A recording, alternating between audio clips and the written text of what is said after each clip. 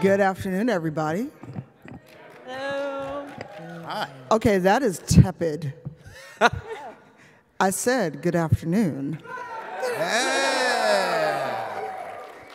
Thank you so much. Uh, welcome to Hustle and Flow, Real Talk I'm Making It. I am your moderator, uh, Cypher Tier.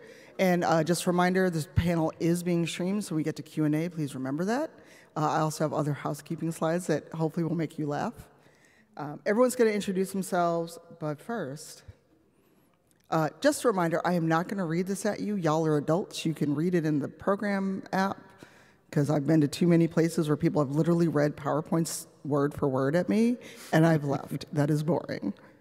Um, but you know, we may talk about things that have happened to us that are upsetting to us as con- content creators, or slurs that have been thrown at us, other things. So you know, please self-care if things get too much for you. Do what you need to do. And uh, I'm going to actually start at the end with Kiwi. Please introduce yourself. Oh my. Uh, hello, everybody. I'm not sure. Is your mic on? Oh, no, there we go. Aha. There we are. Okay, thank you so much. I got you, gamer. I am Kiwi on the Sticks. I am a Twitch partner and ambassador. I've been streaming for about five years now, and I have a background in entertainment, in production, um, volleyball, and all types of things. Whatever I can get my hands on, I have been um, a huge participant in. I'm really excited to be here with you today, with all my panelists here, and I hope that we can share some useful information uh, that I've picked from the cobwebs of my brain. Uh, hi, I'm Damien Haas. I'm a voice actor, Twitch streamer. Uh, you may also know me from the YouTube channel Smosh. Um, I, you know, like Kiwi, I've been sort of doing everything that I could and exploring all these different avenues, and those are the three things that I've landed on for introductions. Um, so there you go. Yeah, let's uh, try to keep it short. Uh, hello, everyone. I'm Amir Hamzah, aka Dimples and Dice, Twitch streamer, uh, professional GM, uh, award-winning storyteller, uh, and I'm glad to be here with my fellow panelists. Also, you're a PTI fellow. Oh yes, I'm PTI fellow. You might have seen my picture around the convention center. And they can sign up and play games with you? Yes, Yes, we will you can sign up to play games with me. I will go last. Okay. Hello, everyone. I'm Lady Luck 34. Uh, my pronouns are she, her, and I am also a streamer and uh, occasionally tagged into Cause Chaos in TTRPG one shots. It's literally all I do. I show up, there's chaos, I leave. That's it. Um, and I do a wide variety of things because I play games, I sew, I crochet. Um, those are all things that I do on my Twitch channel. Uh, and I have a day job in marketing, uh, which will probably come up at some point in, uh, when we talk about these things. Uh, and yeah, super excited to, with this awesome crew. On. Thank you. Uh, hi, everyone. My name's Camilla Panda. My pronouns are she, her. I am a content creator and esports caster with a wild journey that started in robotics casting for now 10 years. I feel old right now, but I'm excited to be here. And on to Tanya. Hi, I'm Tanya DePass, better known as Cypher Tier Online. Um, I have a day job in game dev, but we're here to talk about the content creation side. I'm a variety caster. I do everything from playing games, mostly Baldur's Gate 3 since it came out. Um, look, I, I joke that I'm now a Baldur's Gate streamer, no longer a variety streamer. Uh, I also have now gotten into Magic the Gathering thanks to this dealer. And uh, I make dice, I do mini painting, and do other things, as well as occasionally do TTRPG streams. Dice. Yes, you make dice. This is my fault. Blame her for everything. You can tell we all have known each other a while. Mm-hmm. Um, this is Mandy's dog that is going to give you the side eye if you do not follow our housekeeping. Um, this panel is being streamed higher to everyone over on PAX 2, so please no recording from the audience, but please feel free to live tweet if we say something funny, poignant. I don't know about how much poignancy will come out of this panel, but feel free to live tweet us and, and have a good time. And again, if anyone in this room has ever seen me moderate a panel, when you have q&a have a question it is interrogative it is not a story it is not a i have a comment if you say you have a comment instead of a question i will turn into a demon on this stage and tell you to leave um, and then please also be on topic. No random things that you just want to ask people. If you just want to ask us random questions, find us outside after the panel. Um, this is something I literally saw on Facebook this morning and decided to add to the deck because how many of us have accomplished something, done something, and someone said, Oh, must be nice? You can raise your hand to your audience, it's fine. So, how diminishing is that when someone does that to you? Anybody, really quickly? Yeah. Is that, does- is that your answer? No, no, it's like it's a thing, and I've done it before. So you know, it's you, you think about it, but like, man, to get most of the places you've gotten, you've had to bust your ass, and then you're like, yeah, you can get here potentially by doing the same thing, but it doesn't come without work. Yeah, and I think when whatever the it is, whatever you've whatever you're doing now, whatever you've like made it to do, that also has a lot of work involved in the actual now of it, not just getting mm-hmm. to it. And so when someone says something like that, it used to like hurt quite a bit, but now I sort of look at it with the mindset of like you don't even know how much work it is now. You're really far away from that, so I I, I get it in a way. Like it's not cool to just say it to someone, but it's more of like, mm, you don't know what you're saying right now, so it's not like a pass, but it's more of like a okay, end of end of issue, you know? End of discussion, we're done. Yeah, I guess. Yeah. Kiwi, anything? Yeah, I also was going to say that people have said things like that. It must be nice to me. And of course, my initial thing was to be defensive and be like, you don't know what I've been through and whatever. But also at the same time, it was kind of a revelation to me that maybe I could afford to be more transparent with the people who have an eye on my progress or how I'm developing in my career. So maybe that was more of an indication that I could show more of my process or that I could show more of my like failures and, and just announcing I'm so successful, I do all this stuff may not be the whole picture of what I'm actually experiencing. And so, um, of course, balancing being able to be transparent with my community, but also sharing the hard stuff as well, because people do need to know that things are hard and that you're not just succeeding all the time. Um, I, d- I don't want to be coming across as someone who's like just perfect and successful or whatever. I definitely want people to know that this is very real and that there are failures and shortcomings and things all the time. So um, comments like this actually have inspired me to be more like open about the jour- journey. Makes I love that. Yeah. Yeah. Either of you before we move on? I was going to say, I've always viewed it as they just didn't quite understand how much work went into it. Yeah. I also think, uh, not mentioned in my intro, I spent a number of years podcasting and covering the video game industry, and uh, we see an equivalent now, especially for anybody who streams or works in the content creation space, where like part of that industry is occasionally you get like press or promo items and people always like oh that's so cool. I wish i had that or i wish i was you or like those sorts of things. And you're okay but this is a function of the work that i'm doing. Like this is oftentimes a job. It seems like fun when you're looking at it from the perspective of hey this person's up on twitch playing a game it's maybe they are playing for fun. I have a day job, so for me it is for fun. But for a lot of people, that's their job. It is work. And so it there was always this disconnect of seeing that where it's like, ooh, yes, free stuff is cool. Go to a con and get swag. Um, but that is not a function of like what you're doing here when you're working towards some goal, uh, or some measure of success that you're looking to have. It's often I'm doing my job when I post a photo of an item I got as a, you know, whether you're sponsored or it was a promotional gift or something of that nature. And you usually know because they're putting hashtag sponsored or hashtag ad on it. So, like, it's really clear that that is a function of the job. And I don't know that everybody really makes that connection. True. So let's get into the meat of it of talking about what does successful even mean? Because I think a lot of people see us with either, you know, like Amir is the PAX Together Intersection Fellow. Someone may look at you and go, oh, why are you the Intersection Fellow? Why can't I do it? Or why you? Because to them, that is a measure of success. Kiwi is amazing and does like dope streams. And, and this is not comparing, this is just a fact. You know, Kiwi always has like, you know, in the triple digit CCV, so does Damien. And I could I could easily go, oh well, why aren't I like that? Why don't I have that? But you all have put in the work. You have done the work to have a community that shows up no matter what you're doing.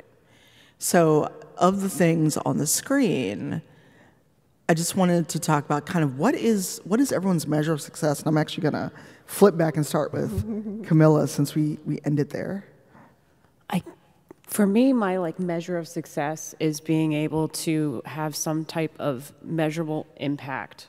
So it's not like being a Twitch partner. It's not like having a thousand viewers. It's did I inspire someone to be a better person that day, or did I work an event that is going to improve someone's life in some way. I am a big charity person.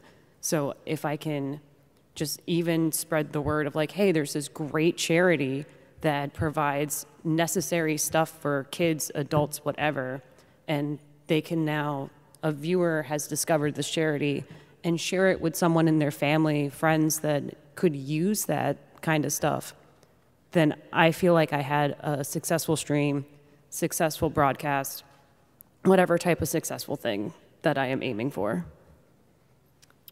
And I think something too, when we talk about success, is there's, I guess, you know, popular success, and then there's success for you individually.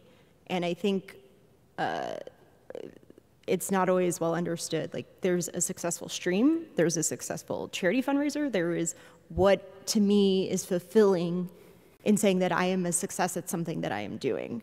Uh, and those could be three different but very intertwined things. So similarly, every time that I do a charity fundraiser, if I get to bump my goal once, I've won. I've done it. That's what I wanted because I wanted to make sure that I was, you know, driving impact for a charity. Uh, if somebody comes out of one of my streams and is, you know, they liked the game and now they want to check it out. They had a good time. We did something silly like you know, have an argument about whether keeping your friend as a werewolf is ethical. Uh, you know, like it's an ongoing thing. she knows. Um, and so success can be short term, it can be in that moment, it can be broader. Like, I want to make being a streamer job, you know, those sorts of things. So, like, you have to be able to define your success first. Like, what does success look like? And then work towards it and make sure you're having like those little wins along the way. Yeah, I think uh, the defining it is really an important part because like it can ch- and that can change. Right? Yeah. When I first started streaming, I was like, "Yo, one person is watching me. This is the coolest thing ever. I'm entertaining one person who decided to find my channel. Out of all of the stuff you can watch on the internet, they came to see me." Then that expanded. I was like, "All right, well, hopefully we can reach out to more people." And then when I started doing tabletop, I was like I started doing Vampire the Masquerade screen, streams because I didn't see anybody who looked like me doing them. I was like, I want to see more people like me doing these things. And now I literally have people come to me and tell me, I started doing Vampire as a storyteller because of you. That is success for me. Not money, not free things. It is a success because I see more people, more groups that look like the group that I put together doing their thing now and that has been like the biggest point of pride to me. Like I can measure success in a bunch of different ways, but having people say you inspired me to do a thing, I, I can't get past that one. That one's like the top of the mountain for me. So anything else is just like icing on the cake. Uh, yeah, I think that's a great point. Um, the definition of success kind of should always be shifting um, because becoming laser focused on something is something that I have not experienced in a healthy way before. Um, I can't speak for everybody, but you know, it brings me back to the first topic where the theoretical person saying to you, it must be nice, you're talking about two different measures of success where you're thinking about your hard work if you're receiving that and you're like, oh, you're commenting on all my hard work. You're not realizing how hard I've worked, but they're commenting on opportunity because a lot of people do work very hard but don't have the opportunity to put it in places where that work is seen. Um, so for me, my definition of success has always changed as my circumstances have changed. You know, now that I have a streaming platform that's available um, that affects things, you know, I want to know if I'm being consistent, if people are showing up and enjoying it. Um, before, my measure of success was, can I scrape out enough money for rent this month? Hmm please, sorry, mom, I have to call again. I know this is the second time this year. Oops. Um, and even that was lucky to be able to do. You know, it's so yeah. Right now, I'm the busiest I've ever been professionally, and I'm very happy with that. But that's left zero time for personal life. So I'm successful in one area where I'm not in the other, um, and that's okay. That's okay. So, yeah. I love that because that is exactly how I feel about success in general. Is just that it's kind of um, ever changing for me. And uh, a lot of times, outwardly, I know that success will be to someone else like how many awards I've won or my titles or if they think I make money or not. And I can't, you know, uh, that has nothing to do with me, what other people are assuming about my own success. Um, but personally, I think that my success is whether or not I've been able to convey the idea or the feeling or the environment that I intended to. And so if somebody notices that my background lighting matches my eyeshadow, which matches my mug that I have, that's a success to me because I'm thinking, wow, I was able to communicate this. You noticed. And I love when people notice small things that I put places or when I'm able to actually cultivate the mood that I intended to or when I actually was able to like land a joke and it was, you know, it's stuff like that that gives me the will to keep going. So I feel like my successes are very much tied to my motivation to keep going. Do I want to keep evolving in this thing? And um, it, that success I know I kind of had in the rear view mirror is kind of what keeps me going forward. So strangely enough, I can really only tell if I am successful to myself by looking back at what I've already done. Um, but just having the motivation to keep going is how I define my success. Well said. To add something to that, it's really good whether you uh, prefer digital or physical to like keep a folder of wins. Keep like something you can go back and be like, yeah, I did that. And it was great because those are little things that can help you. Uh, Success is, as you all have said, ever changing. And sometimes you're going to have failures or you're going to feel down because you haven't gotten to the thing that you wanted to. So having those little moments that you can look back on of, or, or maybe big moments that you can look back on that are like, yeah, I did this thing and it was great, uh, is something I always recommend to people, uh, personally and professionally, both. Um, for me, it's interesting because I, I, I was very much a lightning in the bottle success because I legit was just mad about video games one morning before going to my day job in higher ed. And for, no, seriously, that's literally where I Need Diverse Games came from. And by the time I got to work, it had started to trend and things like that. And again, I was just mad about games because I think we can do better and should do better. And some people would go, Well, I've never heard of you. Like, as I did things, I podcasted, I would do blogs, I would start do diversity consulting. And now I work in the industry. Like, I was in the industry, but I'm at a studio. And it's one of those things where people go, Well, I want to be where you're at, or why do you get to do this? And I'm like, Here's a decade of things that I've done. There are many months and many years where I was like, Ooh, rent, rent's looking a little tight. Am I mm-hmm. going to be okay? And, and, you know, I didn't have anyone that I could go ask other than my patrons to go, Well, if, if you like the content I do and want to keep me housed so I can make more content, here's where we are. And you know, now I'm in a much better position. Or you know, like, we'll talk about it on the next slide. But when I got to be a Twitch partner, I've been streaming for 10 years in November. I will have been a partner for seven of those years in November. And again, people see that little purple check mark and they feel very much a way about it. And actually, you know, let's just transition talking about that. Because I see a lot of my content creator friends in the audience. Mm-hmm. So this is going to be real fun. So, and yes, that asterisk, asterisk is there on purpose because I, I thank Mandy because I had something real real salty earlier and because I, I have thoughts about check marks on certain platforms. Um, but you know, Twitter, Instagram, Facebook. Um, I don't know if you can get one on TikTok, but now you can basically buy verification. And to me, that has devalued it because initially on Twitter, it was to show that you are who you say you are. Mm-hmm. So if you're a celebrity, you're someone of note, you're a news person, so other people cannot go and impersonate you. However, now it's like, I'm going to sell you the same ugly bra five times in your TL under different accounts, at least on Twitter mm. and Facebook and Instagram too, because they are the same product. Mm-hmm. Um, you know, and I'll probably turn it over to you, Mandy, first, talking about brand deals, sponsorships, because of your marketing background. Um, and then just recognition by others. So, and this isn't, hopefully this isn't weird, but uh, other than those of us on stage, how many people have been recognized either by a community member or someone as you're walking around PAX? Just raise your hand. Is that weird to you? Hey, all right. Hey, be honest, I'm not your therapist. uh, but I'm gonna start it with Mandy because you know, like you do have a marketing background and and Yeah. you think about this. It's it's also interesting. I've been around the space for 15 plus years now, and it's evolved because if you looked back years, the FTC guidelines weren't quite the same. So you wouldn't necessarily see things like hashtag ad or hashtag sponsorship on um, posts and things. So like it's a little more obvious now, and there's a little more talk about what it looks like. But I think when you're considering things like brand deals and sponsorships, or even doing panels. Uh, it is a really, really big world. There are a lot of companies, there are a lot of brands. And so oftentimes, like, oh, this person's sponsored, or maybe they're part of an affiliate program. Uh, not everybody quite understands the differences in those levels, what they mean as an association to that company or that product, whether it means they get paid or whether they just get a little bit of a kickback if you buy something from that company using their link. And um, that a lot of these companies, as the world has changed, uh, I could have a whole rant that we're not going to do now about the progression.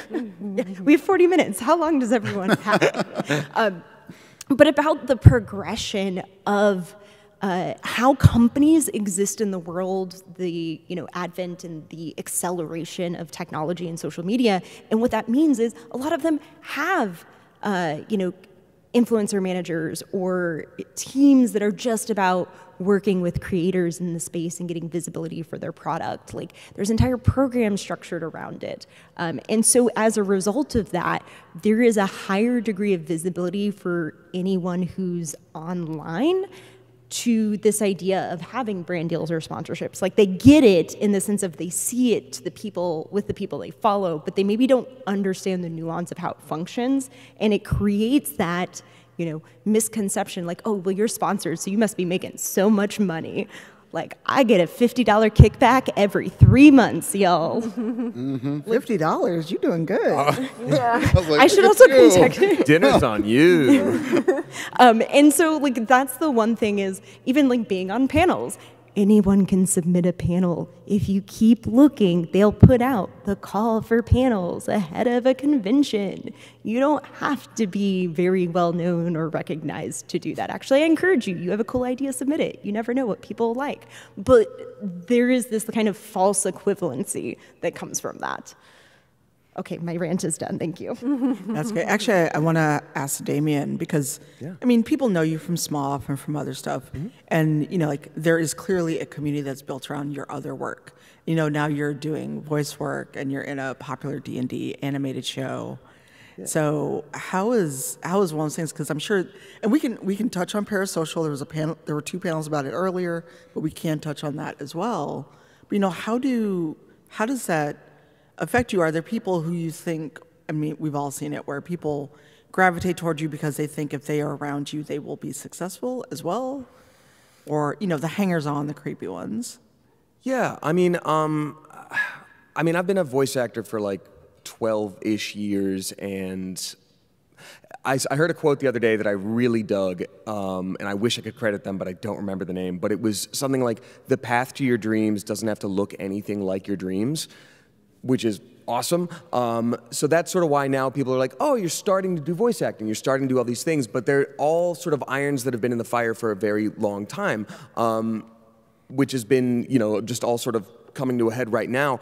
Um, in terms of people being sort of hangers on or fair weather friends, I feel like I am relatively okay at sort of clocking when that happens. Mm. And I think it's also like there's a very difficult balance to find between networking and being friends with people who would get it because they're in your industry and you have a lot of similar things that you can sort of share versus people who just sort of want something. And I think I don't know.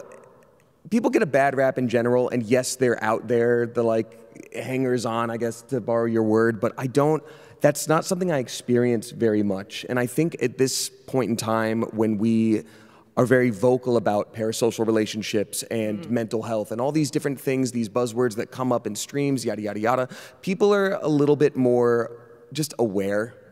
I think I, I know at least I am, um, and if anything, I have to be a little bit more trusting of folks. But it's it's easy to limit access and be like, hey, this is a little bit too much, or and people tend to listen to it, and if not, then you have your 100% truth and the fact that like they need to be cut off. Um, but yeah, everything's honestly been really chill. And I've also, it does help that in my Twitch community, I have had people cross lines before. So for the past few years of streaming, I've had a very hard and fast, like, hey, you know, we can't go into this topic, or like, hey, I don't answer DMs. If there's anything that you need to say to me, you can say it publicly. And if you feel like you can't say that thing publicly, you need to reevaluate what you think this connection is. Um, it's, it's okay to voice that, and you're not going to hurt the feelings of people who are safe to be around you. Yeah. Um, other thoughts from the panelists before we move on? And actually, before we go to the next slide, after you all answer, I am going to define parasocial relationships for you all. But Camilla, Kiwi, Amir, anything? I, I, I think one of my concerns actually when I first started doing this was like I ended up being around people like you, Tanya, and I was worried that like people would see me that way. Like, am I a hanger on or trying to worry my way in? And I it's a constant one of those stressors where you're like, I know this is not really happening, but maybe I'm thinking it. Like maybe maybe they think of this of me. You know, the anxiety warriors. It happens. Um, but I learned a lot from people who had been doing this for a while, and I took what advice they were willing to give to help me move forward. And I, whenever I've had someone else who thought like, "Hey, you're doing your thing," like I've I've been like, "Let me help them too." Mm-hmm. So like, where were you talking about? Like, it markers of success is like I just want people around this space to like respect you as a person, like a full person, not just a picture you see on the internet that you're chatting with from like this very limited perspective. Because once that gets lost, that's when it gets weird. Uh, and th- th- this ties into success by like you are making sure that you're defining this, like your relationships with other people and yourself. Anybody else? Okay. So, uh, quickly before we move on, because we keep saying parasocial relationship, how many people know what that means or think they know what it means in the audience? Okay, good number of hands. Um, so, the, the quick and dirty definition is you think that there's more of a relationship than there actually is. So, let's say any of us who stream or you know act or, or things like that, you think because I watch you, support you, I'm in your stream, I give you money on Patreon, that we're best friends and we're so close. When it is, by its nature, a transactional relationship. There are people who think because they give you five, twenty, twenty-five dollars a month, that you know that entitles them to your time, or they just feel like they're closer to you than you realize. I've been, I'm a day one. I've been in your stream since you started and had two people, and now I'm here when you got like 400 every day cool, that doesn't mean that we're actually friends. And that's not being cruel, that is a reality also to keep people safe. Because there have been too many instances, especially with the advent of social media and people thinking, I follow you on social media, I know your whole life. I can guarantee you do not. Of anyone in this panel, anyone in this room. Because what we curate on social media, whatever platform you're on, is a curated look at someone's life. It is not every single thing. Unless you're some weirdo that tells your whole life, then that's on you. I was gonna say, extra tip there. If you do share your whole life, maybe consider keeping some things just uh-huh. for you. Reel it in. Mm-hmm. or have a private account where like five people can read it and they're your homies. Yeah. I've seen some wild things on the internet. I predate it. It's been too much some days. Just letting go of some secret thoughts. Seriously. go. Um, this one is for the four people of color on this panel. If any of you say there's not four people of color on this panel, I will come fight you. Um, but all the other brown folks in the, in the room, raise your hand. We got to do better than this. We in Boston. There's more black folks here. Look, I have no chill. I'm not at work. I don't care.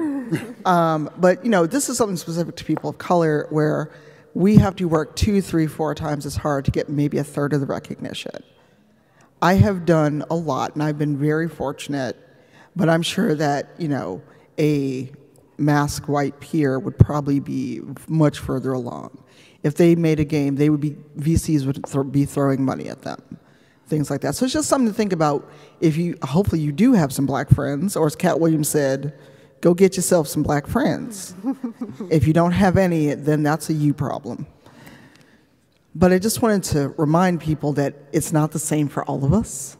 Um, and for many of us, you know, like when we get featured in things, you know, like, um, you know, Kiwi and I are both in the Black Guild at Twitch. I don't, are you in the Women's Guild too? Me? Yes, you. Oh no.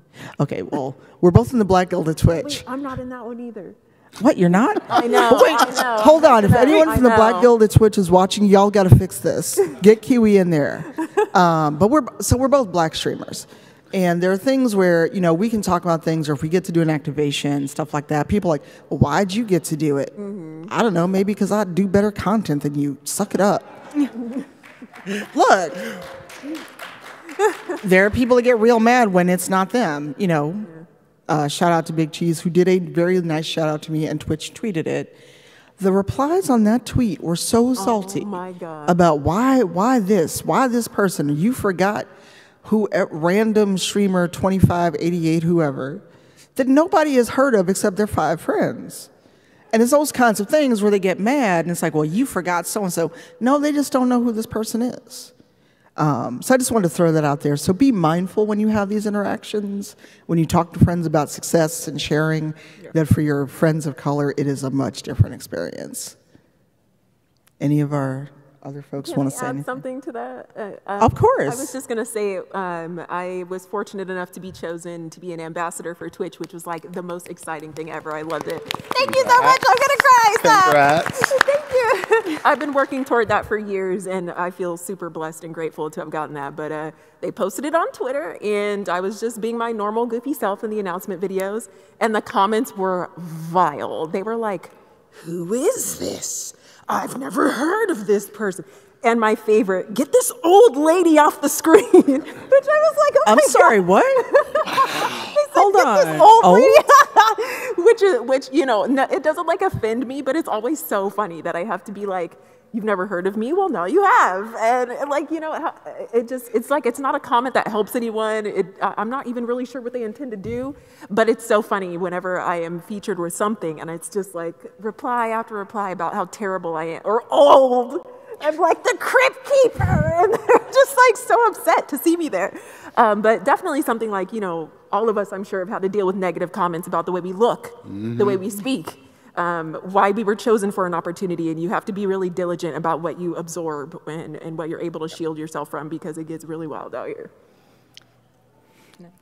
Yeah, I just don't care. I, I don't. I'm, That's a mood. I'm too tired for this stuff. Like, I, I remember when I got picked to uh, to run a game for Roll Twenty Con, and some of the comments for me running that game, and I was just like, "Do y'all eat, like, why? Why do y'all bother to to come to my comments? Because if y'all follow me in any way." I, I'm either gonna roast you or I'm gonna ignore you. So pick your pick your poison. But like, it doesn't serve you any purpose. Like mm. I, I, I hustle my ass off. I do. I, I run a lot of stuff. I do a lot of stuff. And if you want to do it, do it. But don't go bringing your envy to somebody else. Just do the work. Yeah. Period. Yeah, can we get some snaps for that? Um, so I want to talk about the myth of overnight success. We've talked about, it, but I want to focus on it for a few minutes because a lot of people, like he said, it's like, well, I never heard of you. Cool. I'm sorry for you then. um, so I want to hear from like Camilla because you haven't talked much. Oh, thank you. You're welcome. no, this this is how I DM. This is how Mm-hmm. I host. I want to make sure everyone gets to speak. I can say I don't know where to start with this one because I've had a lot of folks who are overly confident in saying to my face at conventions like, "Oh, you I've never heard of you before. It- You probably only got in because you're pretty." and I have to pretend to be nice afterwards. No, you don't. Nope. You don't, yeah. But yeah, overnight success isn't a thing because there's so much work. There's so like there's the late nights, there's the travel, there's like the co- like years and years and years of just doing something because you love it. Like for me, esports casting, I've been lucky enough to get gigs and be flown to places to do like casting for like Valorant and a couple other games. And I've had folks go, "Well, you just you've never really done esports casting. This is like your third event." And like I've been doing robotics casting for like 9 years, and that's volunteer work. And I have done week like 6 weeks straight of hosting and game announcing, and I don't make money off of it. And I finally had someone sit there and go, She's good at that, and maybe we can finally do esports. So no one saw the up to point, mm. but now that I've had like a couple of gigs, folks are finally taking notice, but then there's still like, you just showed up. I'm like, I've never just showed up. I just swapped to a different industry. That's all. Just made a little bit of a change. what? You you did all that, and people just now notice? They're weird. Wild. Wild know, right? concept. Anything from this side of the table? And the next slide, I'm just going to skip because I realized it's kind of reiterating what we're already talking about. Um, other thoughts? Yeah, if, if I may, um, I think, uh, like what I said before, having a lot of irons in the fire, they pay off at different times. And also, they pay off in different ways. Like uh, for voice acting stuff, like I said, I've been doing it for 12 years, but I didn't have a lot of recognizable roles until more recently. Um, you know, I'd be doing like a Dunkin' Donuts radio commercial or something like that, or maybe I was the talking dog on a T-Mobile commercial, or there was a video game. I'm not going to say any specifics because someone ended up getting the role, but like I was up for a major role in a very well-known game that you definitely already know. Um, that I like finally almost booked, and then the first like SAG voice acting strike, what was it, eight, nine years ago? I don't know, uh, came around and it was basically like, hey, you can't do this. And I was like, well, okay. Then a, a couple years after that, I was working on an animated film as uh, with one of the main roles that would have been released in theaters by a company that's very well known for big animation projects. And I was like, this is it. Finally, it's my thing. And then that uh, ended up going away. They were like, oh, we're not going to pursue the project. It got canceled. I was like, okay, cool.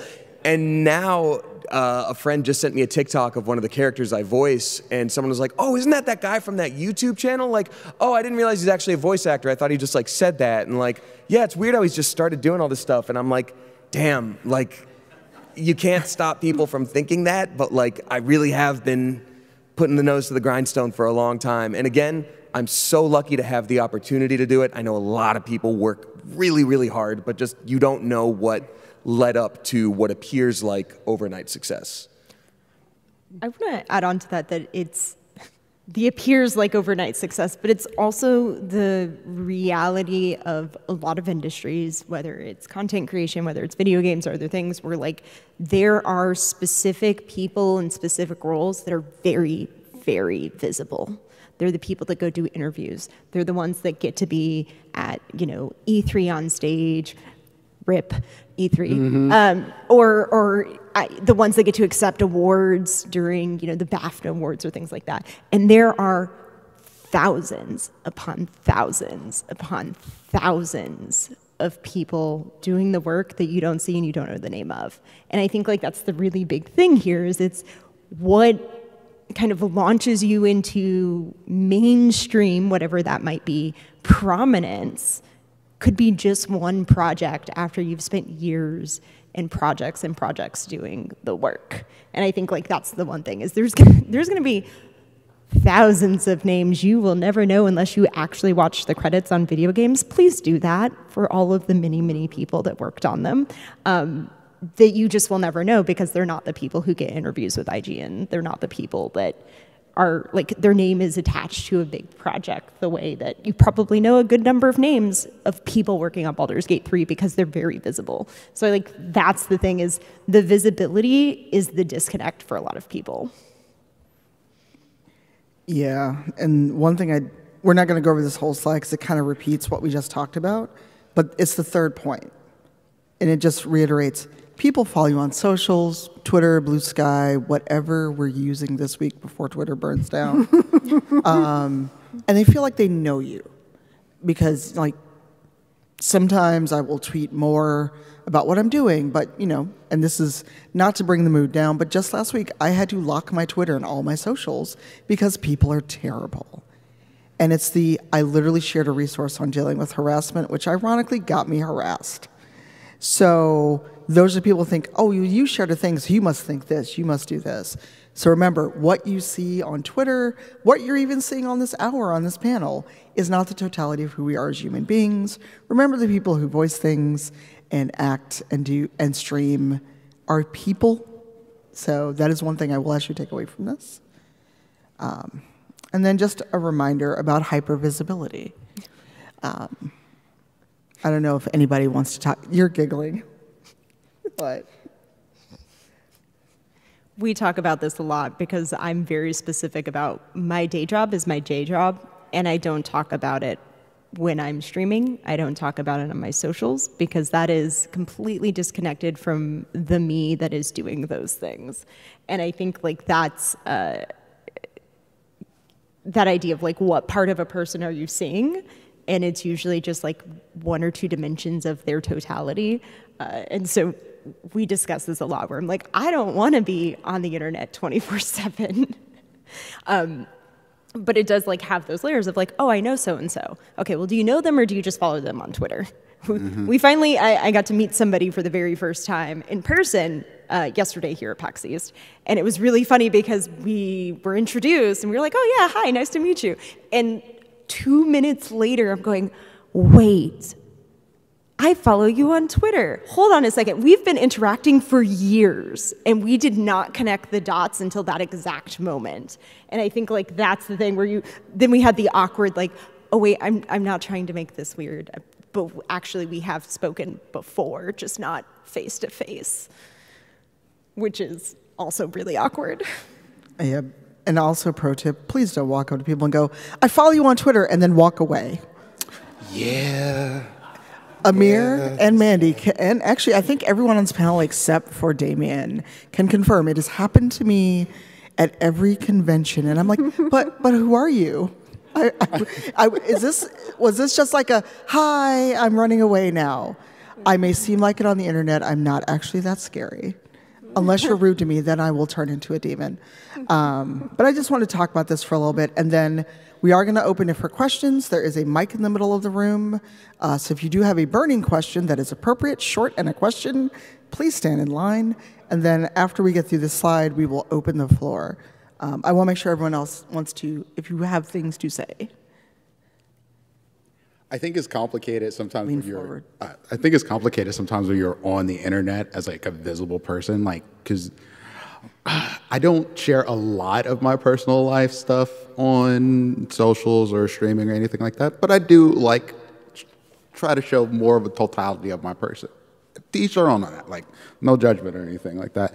But um, I am me turned up to an 11 when I'm on the internet. Like I am an extra goofy version of myself. I, I bring that all up.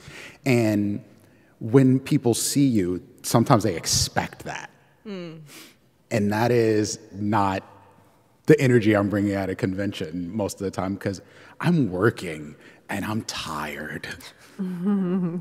Uh, and I just don't have the energy to be me on Twitch uh, when I'm doing that because I have set a scheduled time aside. I've eaten, I've had water, I'm chilling at my desk when I'm Twitch streaming. Here, I've run from one thing to the next thing to the next thing to the next thing, and I'm like, hi. and and so like keep that in mind and and and yeah, I mean speaking of this this thing right here like one of my first experiences of actually getting started on Twitch was right when hate raids were coming about. And here I was thinking no one knows me. No one's to stop by my channel. Oh boy that was not the case. I had to like lean into people like Tanya. I was like, how do we, how, what do I do in this situation? Like, they put buttons up and I had block lists. And I was like, someone doxed me. They made their Twitch name my address to my house. And I was like, cool. This is what happens the more people see me, more stuff like this has happened to me. And I've been doing this for a long time. But then it just came to a head once I became more visible. And that is scary. I don't really know what else to add to it because it's just it's scary because you're like, I just want to be a person, y'all. Like I'm just another dude. I think I have something relevant. There's something I've been explaining to my like non-content creator friends where uh, you can be famous enough where it's a problem, but you don't reap the benefits. yes, that, that. Where like you will, you know, you'll have folks come to you and be like, "I want to work with you. That's great," but then you go and you're on your stream, and then someone tries to like dox your IP address, or they're like, "Hey, I think this is where you live," and they are saying it not in a like, "I want to know where you live." It's more of a threatening aura, but it's really hard to navigate that, especially since for a lot of folks, like all of us, it comes sooner than you expect it to. Mm-hmm. Where you don't have a hundred people watching you all the time. It comes when you have like five, ten folks, and all you're trying to do is just have fun with your friends.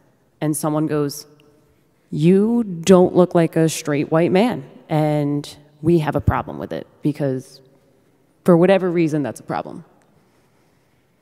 Kiwi, any thoughts before we open up Q&A? Ugh, I'm tired. I just, uh, I'm just so tired. Leave me alone. This is why it, it's just so difficult even being visible at all to me because there are certain things that are just like private and personal for me. However, I am more than willing to share things that affect my ability to get things done. I don't know if anyone out here deals with disability, um, your body changing in some kind of way that you don't understand, your brain and your body fighting each other. Um, just trying to figure out what is going on day to day is already a struggle enough. And it already makes me feel self conscious being, you know, perceived while I'm not even understanding my own existence uh, all the time. And so I have to be like, sometimes I'm just like, I just, I don't care. Leave me alone. Like, I will shut the computer off and walk away right now. You know what I'm saying? Like, I just get fed up being looked at in general a lot of the time. Um, I, luckily, my community is really, really supportive of me being open about what I'm experiencing, but it's been a struggle to even be seen in a condition that is that I don't understand myself. And a lot of people have been mean about it or judgmental about it or uh, you know laughing at me because of things that I can't even explain myself. You know, as if I would choose to be tired or I would choose all these things I have to deal with. So it just in general, making sure that I am transparent with the people who matter to me, but also like I just don't like to share stuff that's too close to home because I never know who's watching or what their intentions are with me. Uh, and I don't want to be somebody's little pinata to beat up one day. And you know, it's just it's just a lot to to even balance in the first place. But um, if anybody else is dealing with that kind of stuff, I have you know I have a lot of understanding of what you're experiencing, especially people who are like COVID conscious or if you're disabled or anything like that. I know that it's very difficult to even continue on in life in general a lot of days. Um, especially with so many people looking at you or analyzing everything that you do or expecting things from you. Um, but just, you know, take it a day at a time. And if you're having those days, then you are having those days. And the best that you can give is, you know, if you can only give 5% of yourself one day, that is 100% that you are giving of yourself, that you're able to give. So no matter what anyone says when they're looking at you or judging you or whatever, just, you know, staying grounded and just shut out, shut all the other stuff out because that's really all you can do to kind of protect yourself. And just one thing I wanted to note about, you know, the, the first point on the, the slide is that you don't have to be a visible person. You don't have to be a person of color for someone to de- delegitimize what you're doing. Yeah. Because they'll go, oh, well, I know that you know these people, and therefore you didn't actually do anything. You cut the line. Here's the problem with that anyone who knows you and knows your work, if they want to work with you, it's because you are quality. It's because you know what you're doing. Anything else, if someone assumes that, it's like, oh, well, you just were, and I hate this term, it makes my soul leave a little bit. You were a Nepo baby, whatever that means. Uh, I know what it means, I just hate the word. Uh, when people do that, it's like they're delegitimizing. They might as well say, well, you have no talent. You're lucky. The very first uh, studio event I went to, like community event, I was the only film presenting person there. And I had someone straight up say, Oh, you must be the token woman they brought in to legitimize this. Jesus. Oh, yes. Oh, yes. And uh, at that point, I was years into podcasting and I was years into being involved in the industry. And I was just sitting there going, like, you are a fool and stop talking to me.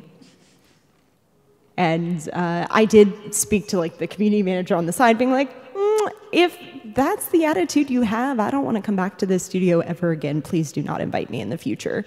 Uh, but I think that that is like, you want to say things are better, and in some spaces they might be getting there. Um, but I think it is it is kind of important to know what your boundaries are. The same way we talk about like success, and to, to the point you're making about. Uh, I remember reading somewhere that if you're giving 100% of yourself 100% of the time, then you are always running on zero. And I think it is fair to, you know, when you're having a low spoons day or when you're struggling with something, sometimes take that space for yourself. Um, and that's whether you're trying to uh, work up to your success or whether just individually, like so important to please do. All right, so it's time for Q&A. We have eight minutes and minus seconds. So please Come line to up. the mic. Don't judge my dog side-eyeing all of us. I love she it. judges me all the time. That will be me if you do anything other than ask a question. You all laugh. I'm not kidding. He's not. Yes. Cool. Uh, so there's a lot of conventional wisdom about you know not maintaining social media presences because of the way people are. But in this industry and in this kind of career, is there any sort of advice you would have about the kind of social media presence you maintain, the time you have on it, and what you share on that, and whether or not that affects opportunities or creates opportunities? Ooh. Yes. Uh, it. I don't know. It can create opportunities. A lot of people I've connected with initially has just been through like, hey, we were following each other on social media, and then we happened to meet in person at an event, and now suddenly there's a door that is open that wasn't there before. Um, but I do think it's really important in the same way that we say, like, try to. You need to set your own uh, measure of success that you should consider and understand that it will change over time. Uh, what you are willing to share maybe on social media when you first start your account might not be what you want to share in the future. Um, but having an idea of like, is this a work Twitter?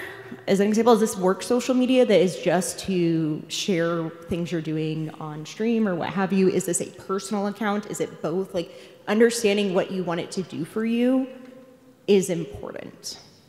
That, that's marketing speak a little bit, but I think relevant here. Yeah, uh, the, the, the short and sweet of it is define your persona. Like, what, it, what are you going to be on your socials? Because that's what people are looking for. Yeah, and just, you know, you don't have to tell anyone about your personal life. Nope. Especially if it's just, this is what I do, here's my content, and decide what it is, and then adjust. If you tweet something or post something and it's attracting the people you don't want around, you can delete that and go, okay, no- noted, I'm not doing that again. And also, just in case we don't get to everyone, there we will be outside because we've got six minutes, so I don't know if we'll hit everyone, but uh, we will be outside in the hall after. But thank you for your question. Thank you. Welcome. Hi, I follow you on Twitter. I'm, I'm about to out you. Don't start with me. Um, I'll, I'll try to make this quick. You guys have uh, covered this in ways, but uh, I do a fraction of the work that you all do, and it's even that's tough for me. Uh, with the growing pressures of uh, social online presence, the communities, the hatred that we've been talking about, do you guys deal with fatigue? We talked about in your private lives, yes, but fatigue going on, you know, and then, and if so, how do you deal with that? Do you take breaks, vacations? You just can't do it. Take a break. Um, I mean, I can answer if anybody else wants to jump in after me. I do, but I've also I've I've got the privilege of a day job. I don't have to stream again if I never want to, but I like streaming. I like content creation. Um, so I will just go. You know what? Not today. I'm going to go do laundry. I'm going to go back to bed because I normally go stream before I log into work every day. And sometimes I just talk to friends who get it. Because sometimes just that sounding board of other people who get it, because I've discovered the hard way, complaining on online just gets you the people that have never done this work, that don't understand it, and they think you are whining about, oh, poor you, people throw money at you to play games all day, which has never been the case. Um, anybody else want to hop in? We also just got the five minute mark.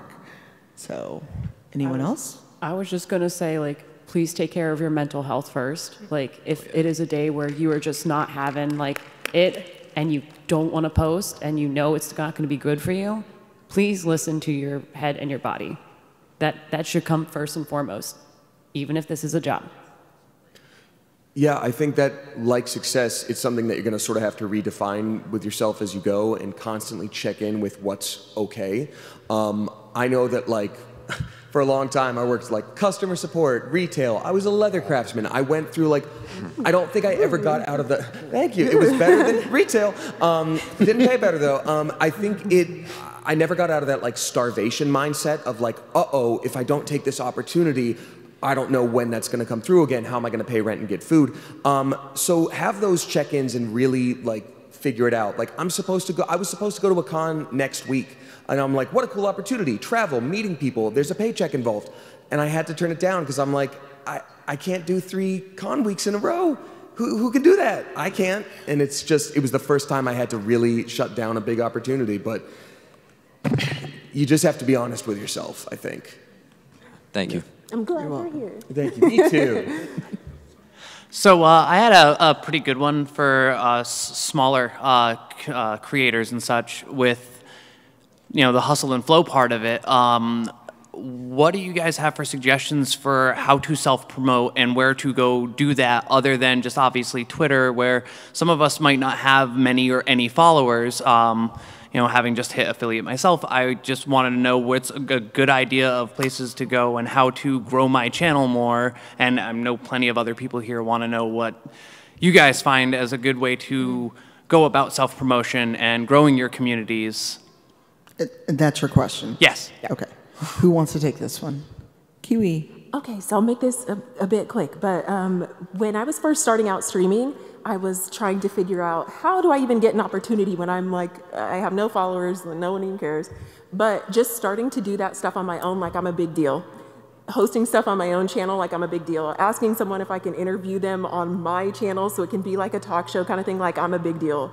Hosting some event that is put together, editing some stuff that's put together on my own channel, like I'm a big deal before I can even ask someone else you know, because if you don't have the opportunities, then how are you going to justify that kind of stuff? So even with pictures, like having my own photo shoot instead of waiting for a photographer and for all these other like opportunities. Um, so I know that sounds probably counterintuitive, but just like continuing to do the big stuff yourself, because you can do the big stuff yourself on your channel, like, and, and it'll still be big, you know? Uh, it still shows your skills, it st still shows what you're capable of and everything like that. So just like believing in that process and keep pouring into it, keep posting it, keep streaming it, and, and stuff like that. And I, I feel like organically over time that that helps you in the long run. Thank you. And Good old fake it till you make it.